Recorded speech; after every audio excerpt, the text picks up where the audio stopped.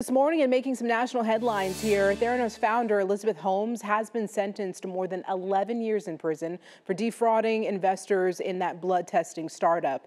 ABC's Christine Sloan has more.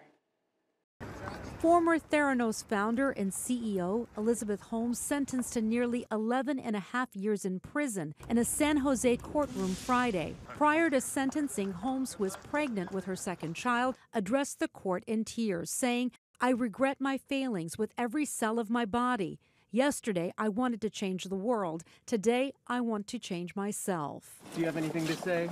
Nearly a year ago, Holmes was convicted on four counts of criminal fraud for defrauding investors out of millions of dollars with her false and misleading claims that she could run hundreds of tests on just a few drops of blood. I believe the individual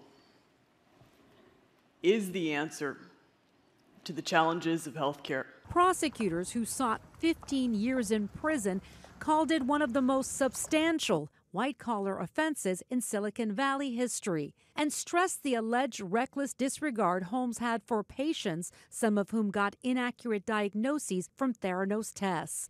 Her attorneys had asked for leniency, arguing she was a well meaning entrepreneur and devoted mother. They petitioned for house arrest instead of jail time, or at least 18 months behind bars. Her former lover and chief operating officer, Ramesh Sunny Balwani, convicted on 12 felony counts of fraud and conspiracy, is scheduled to be sentenced December 7th. Holmes has been ordered to report to prison April 27th. Christine Sloan, ABC News, New York.